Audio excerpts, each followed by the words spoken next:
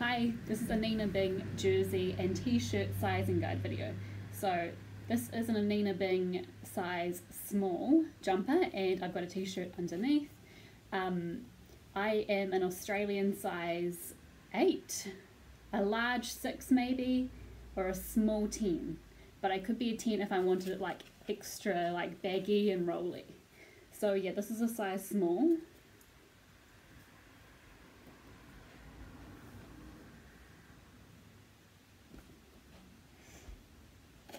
So it's pretty roomy.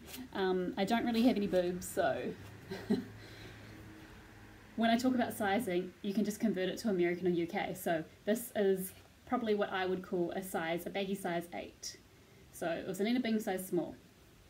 And then we have the t-shirt. So I was quite happy with the sizing of the jumper. But the t-shirt, I felt like I should have got a medium.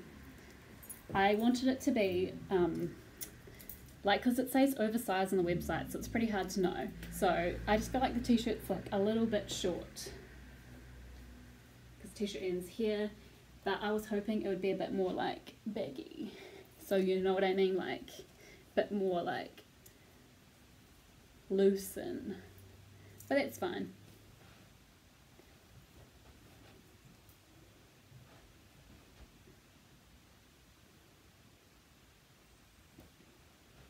So with the jumper, if you are wanting it more roll rolly sleeved, I would go a size up. So it is pretty true to size when they say it's oversized but audio size. So I'm happy with the jumper, but some people like them quite um, yeah rolly. So you could always size up as opposed to sizing down. And with a t-shirt though, I would have gone to a medium instead of a small because I thought this is okay, but I mean if I was wearing jeans I'd probably just like tuck it in.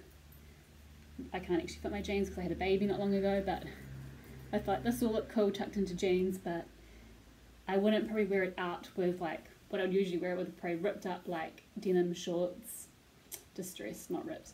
Um, but it's kind of a bit too fitted for that, so I'll probably can't even tie a little knot it's a bit too small. But yeah, I would probably tuck it into jeans normally.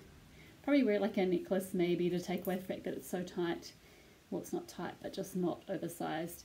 But yeah I hope that helps. So my sizing is true 8 although at the moment because I just had a baby I feel like I'm more a larger 8 but normally I'd be true 8 a really large 6 I'd have to be a really large 6 and a 10 can be a bit too big so I hope this kind of helps. So yeah that's all Australian sizes because I live in New Zealand.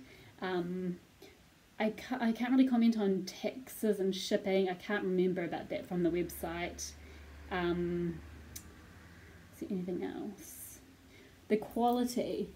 I feel like the quality is pretty good because you kind of don't know when you're buying these things. But yeah, I really regret getting like not getting the t-shirt in a size medium. But yeah, what do you do? You can always on sell these. I find that there's lots of these on the internet for sale and they hold their value.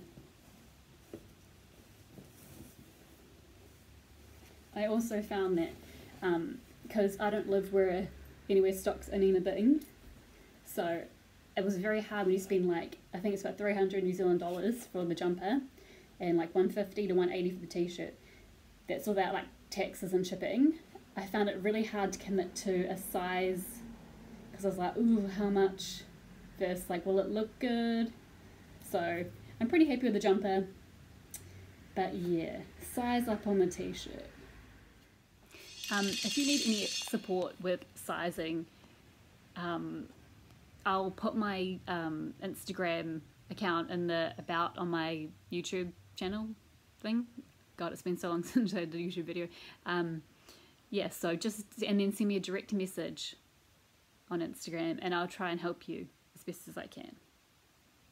Yeah, thanks for watching.